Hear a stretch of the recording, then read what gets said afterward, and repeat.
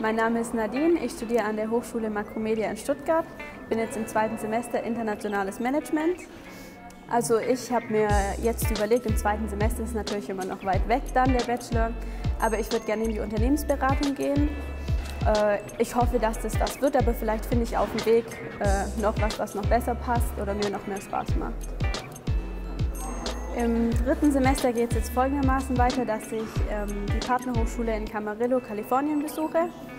Und da äh, geht mein Studium einfach weiter. Ich werde dort die gleichen Kurse besuchen. Und ich freue mich sehr auf die Zeit dort. Das ist, wird bestimmt ein tolles Erlebnis. Also im Moment ist ja der wirtschaftliche Wandel im Fokus. Und dort lernen wir eben, wie man dem am besten begegnet, wie man am besten damit umgeht, was das überhaupt bedeutet, wenn sich die Wirtschaft verändert.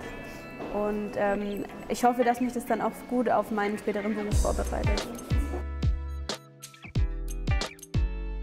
Also ich finde Veränderungen sind immer gut. Man kann den Horizont erweitern, man muss immer was Neues ausprobieren. Ich persönlich bereise gern andere Länder, lerne andere Sitten kennen, einfach ein ganz neues Leben und ähm, deswegen bin ich für Veränderungen.